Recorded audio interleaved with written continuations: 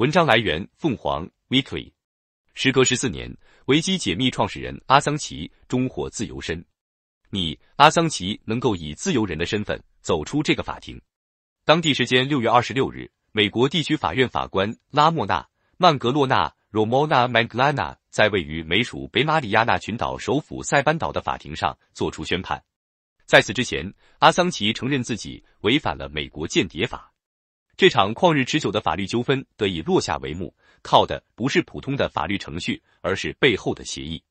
来到塞班岛之前，阿桑奇已与美国政府达成认罪协议，他以承认违反美国间谍法为代价，换取美国司法部不再寻求引渡的决定。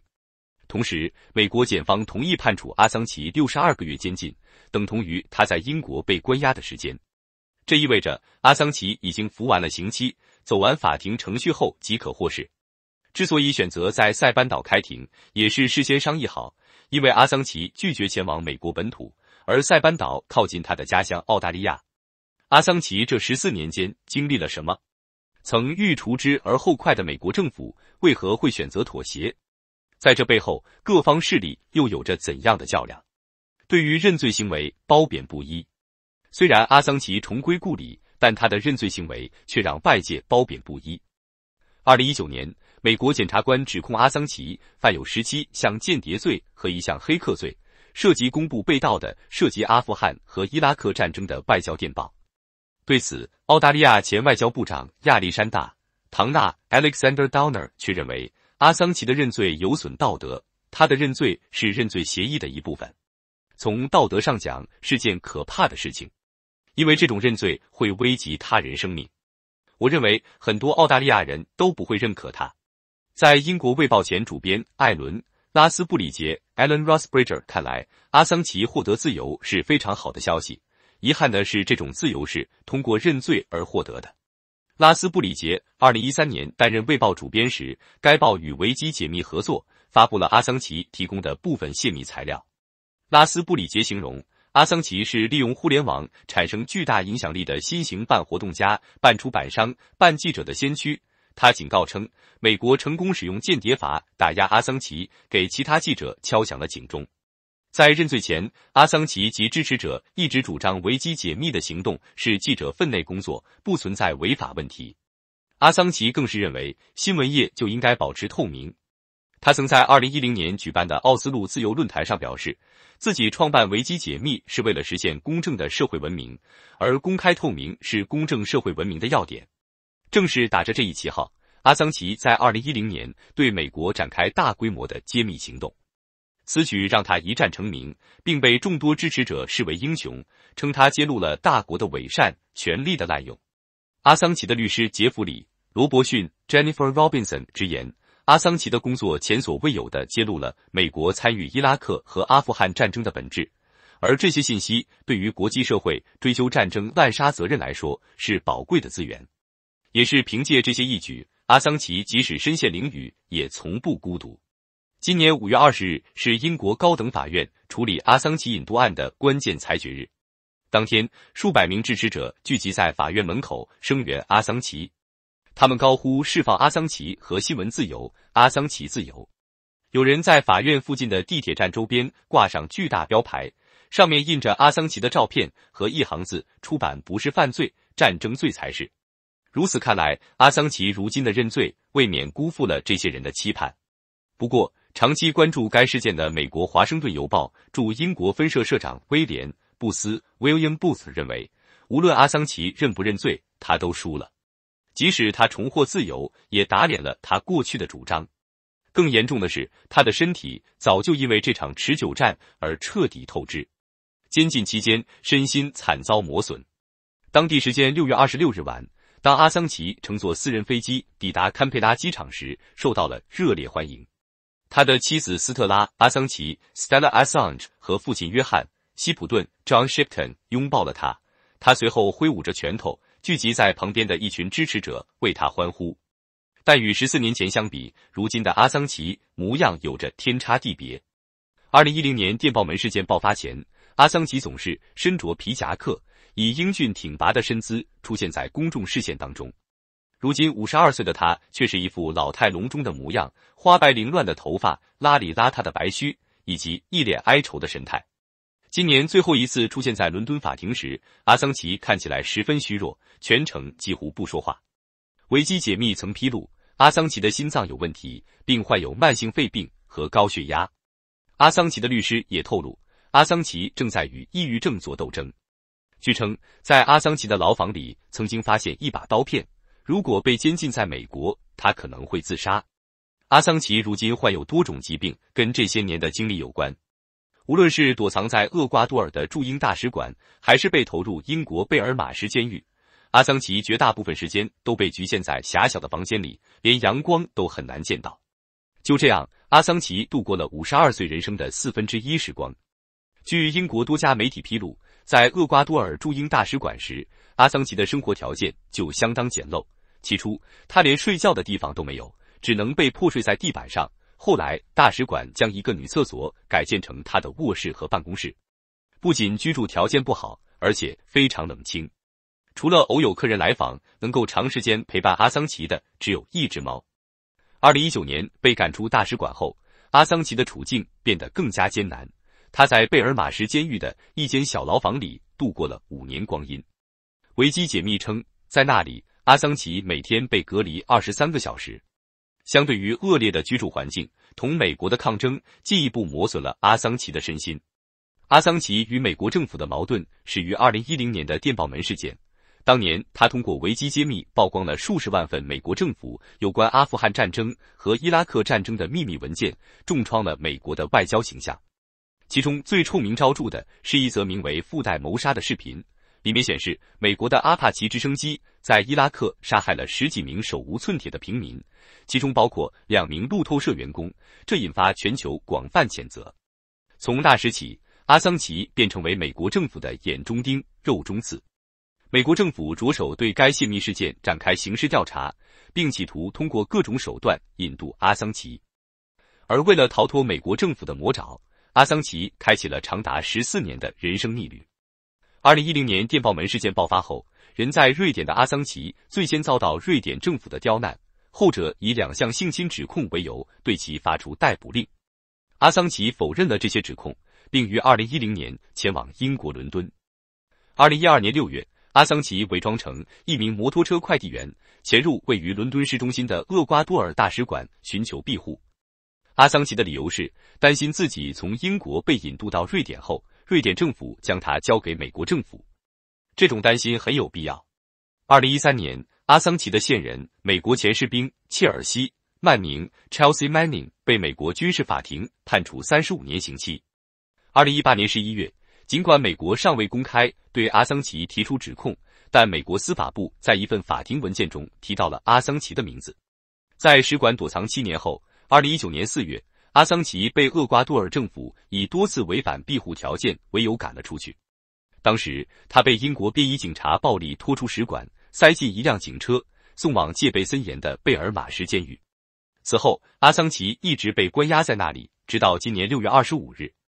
二零一九年五月，英国官方就引渡阿桑奇的问题举行首场听证会。随后，美国司法部在同年六月正式要求引渡阿桑奇，以处理其违反美国间谍法等问题。自此，阿桑奇展开了针对美英两国的反引渡斗争，这一斗就是五年。今年年初，阿桑奇的妻子斯特拉表示，多年监禁让阿桑奇的健康状况不断恶化，如果被引渡，他就会死。斯特拉说：“朱利安·阿桑奇是一名政治犯，他必须被释放。”劣迹斑斑的电脑黑客，在美方以及批评者眼中，阿桑奇遭受的这些苦难是咎由自取。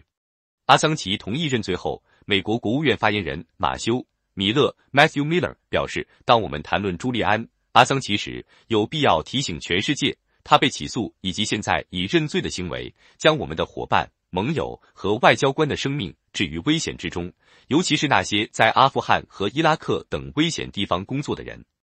他们公布的文件提供了与国务院有联系的个人的身份信息，包括反对派领导人、世界各地的人权活动人士。这些人的情况因公开披露而面临危险。米勒说，这削弱了美方人员与他们建立关系和坦诚对话的能力。早在二零一七年四月。时任美国中央情报局局长麦克·蓬佩奥 （Mike Pompeo） 将维基解密描述为一个经常受到俄罗斯等国教唆的非国家敌对情报机构。二零一九年，时任美国助理总检察长约翰·德莫斯 （John Demos） 强调，阿桑奇不是记者，因为他参与了明确征求机密信息的阴谋活动。在涉及网络犯罪方面，阿桑奇早就不是初犯。一九八七年，十六岁的他曾以 Mandex 的身份混迹黑客圈，短短几年闯遍了美国多地政府、企业和教育等机构的网站。其中包括美国航空航天局、五角大楼、洛克希德马丁公司、斯坦福大学、花旗银行这类超级大咖。当时，由于被怀疑从花旗银行盗取了五十万美元（约合三百六十三点四万元人民币），阿桑奇的住宅曾遭到美国警方的突击搜查。不过，他后来没有受到指控。一九八零年代末，阿桑奇还与其他两名黑客组建过名为“国际颠覆者 ”（International Subversives） 的黑客团体。据称，该团体不仅攻击了美国军方以及美国国家航空局的网络，加拿大、澳大利亚等国的重要领域网络也未能幸免。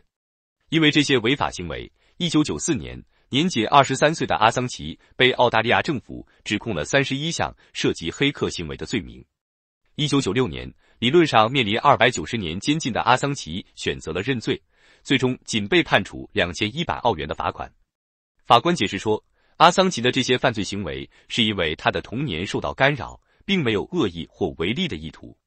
然而，法官的轻判或许害了阿桑奇。阿桑奇将这次审判描述为他的一个重要经历。美国新共和杂志称，这一经历将他引向创办维基解密的道路。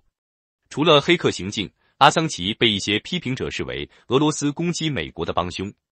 二零一六年美国大选期间，维基解密曝光了大量。来自美国民主党以及时任候选人希拉里的电邮，一些人认为此举的幕后黑手是俄罗斯。亦有消息称，维基解密收了俄罗斯的钱供其驱使。面对诸多质疑，阿桑奇的态度总是模棱两可，既没有肯定，也没有否定，只是强调他们要保护所有的消息来源。阿桑奇的此番表态不仅让批评者更加愤怒，也让很多原本支持他的人倒戈。在厄瓜多尔政府眼中，阿桑奇则是一位恩将仇报的小人。厄瓜多尔好心将阿桑奇收留在使馆，然而他非但不感恩，还频繁给厄瓜多尔制造麻烦，通过网络干预其他国家内政，并从事破坏厄瓜多尔与其他国家良好关系的活动。二零一八年十月，阿桑奇还曾起诉厄瓜多尔政府。此外，厄瓜多尔驻英大使馆的工作人员也难以忍受阿桑奇一些偏激与变态生活行为。他不仅在自己的小房间里踢足球，还出言侮辱使馆工作人员，甚至经常在凌晨一点用扬声器说话。更夸张的是，阿桑奇曾把粪便涂抹在大使馆的墙上。认罪协议是如何达成的？无论受到何种非议，在外交、政治和法律因素的共同作用下，阿桑奇最终重获自由。促使他获释的协议经过数月酝酿，直到最后一刻都存在不确定性。英国广播公司 BBC 如此评价。英国皇家检控署在一份声明中说：“达成一份认罪协议的可能性在今年三月首次引起我们的注意。自那时起，该机构一直在按照阿桑奇和美国政府的意愿，就如何让他获释并接受美国联邦法官审讯的流程问题向美方提供建议。”六月二十六日回到澳大利亚后，阿桑奇第一时间接到来自澳大利亚总理阿尔巴尼斯的电话。阿桑奇跟对方说：“你救了我的命。”一位曾参与此案的匿名人士披露，直到二零二二年，阿桑奇案件才迎来重大转机，因为当时刚就任总理的阿尔巴尼斯将解救阿桑奇作为施政的优先事项之一。这其中一个关键人物是斯蒂芬·史密斯 （Steven Smith），他于去年年初以新任澳大利亚驻英国高级专员的身份抵达伦敦。有消息人士告诉 BBC，他做了大量繁重的工作。将这件事作为自己的事情来完成。史密斯曾在陆克文领导的澳大利亚政府中担任外交部长，而作为现任澳大利亚驻美国大使的陆克文也参与了谈判。去年九月，一个澳大利亚议员代表团前往华盛顿，直接游说美国国会。随后，阿尔巴尼斯在十月对白宫进行国事访问时，向美国总统拜登提出了这一问题。在这之后，澳大利亚议会今年二月通过一项动议，向英美两国施压，要求停止起诉阿桑奇，并允许后者返回澳大利亚。诸多压力之下，拜登在今年四月暗示，美国政府正在考虑澳方提出的撤销对阿桑奇指控的请求。无论你对他的行为有何看法，而且看法各不相同，阿桑奇先生的案子已经拖得太久了。我曾多次说过，继续监禁他不会得到任何东西。阿桑奇获释后，阿尔巴尼斯评价说：“我们利用了所有适当的渠道，这一成果是我们认真、耐心和坚定工作的成果。我对此感到非常自豪。”澳大利亚研究所研究员艾玛·肖蒂斯 （Emma Shortis） 认为，美国之所以愿意同阿桑奇达成协议，是因为阿桑奇事件正成为影响美澳关系中的一个重要问题，尤其在两国组建奥库斯 （AUKUS） 及澳英美三国军事联盟之后。肖迪斯指出，阿桑奇事件明显威胁到了言论自由，这与美澳关系声称要建立在共同民主价值观基础上的主张相左。此外，阿桑奇一案也是英美关系中的一个棘手问题，许多外交官都希望解决该问题。不少人猜测，拜登政府希望在十一月总统大选前解决这一问题。一些阿桑奇的支持者认为，美国担心如果英国工党上台，可能不太愿意同意引渡他。美国政府迅速表示，白宫没有参与制定认罪协议的细节，那是司法部的事。除了政府高层的推波助澜，阿桑奇能够重获自由，也离不开一些人的坚定支持。由于长期身处不良环境，阿桑奇的身体状况受到联合国酷刑问题特别报告员尼尔斯·梅尔泽 （Nils Melzer） 的关注。二零一九年五月九日，通过检查，梅尔泽发现阿桑奇不仅身体患有疾病。精神还出现了问题，包括高度紧张、慢性焦虑等症状。对此，梅尔则指责阿桑奇所受的心理折磨来源于美国、英国、瑞典、厄瓜多尔四国给予的压力。因此，他呼吁英国政府停止将阿桑奇引渡到美国，并警告称，如果阿桑奇被引渡到美国，或将面临进一步的酷刑。为了声援阿桑奇，梅尔泽还在2022年出版了《朱利安》。阿桑奇的审判：一个迫害的故事一书，指控美国等相关国家对阿桑奇的迫害。同梅尔泽一样，成立于二零一九年的医生组织阿桑奇的医生也为阿桑奇的健康以及自由积极奔走。该团体不仅向英国政府发公开信，表示阿桑奇健康持续恶化，可能会死在狱中，还多次在顶级医学期刊《柳叶刀》上发文，呼吁结束对阿桑奇的虐待及医疗忽视。此外，阿桑奇的律师团队也居功至伟。二零一零年电报门事件爆发后，身为澳大利亚人权律师的杰弗里·罗伯逊于当年十月开始担任阿桑奇与维基解密的律师。十四年来，罗伯逊积极应对各种法律挑战。他在六月二十六日亲眼见证了阿桑奇重获自由。作为阿桑奇的辩护律师，罗伯逊一直面临压力。他不仅遭到美国国务院的敌视，还一度受到外界的死亡威胁。在阿桑奇达成认罪协议后，罗宾逊依然对美国检察官追求定罪的行为提出批评。为了获得自由，朱利安承认了串谋从事间谍活动的罪名，因为他公布了美国战争罪、侵犯人权行为和美国在世界各地的错误行为的证据。这是在把新闻业犯罪化。罗宾逊在堪培拉的新闻发布会上说：“虽然控辩协议不会设立司法先例。”它不是法院的判决，但检控本身却创下可以用来对付其他媒体的先例。阿桑奇的妻子斯特拉也是律师团队的元老级成员，他在二零一一年加入该团队。二零一五年，斯特拉与躲在使馆里的阿桑奇谈起了恋爱。二零一七年，斯特拉与阿桑奇订婚，并在二零一七年和二零一九年先后生下两个孩子。二零二二年三月，他们在贝尔马什监狱举行了婚礼。阿桑奇获释后，斯特拉也算苦尽甘来。六月二十五日，斯特拉在社交平台 X 上分享了丈夫重获自由的消息，并感谢各方的帮助。言语无法表达我们对你们的无比感激。是的，就是你们，你们多年来一直努力奋斗，让这一切成真。谢谢你们，他写道。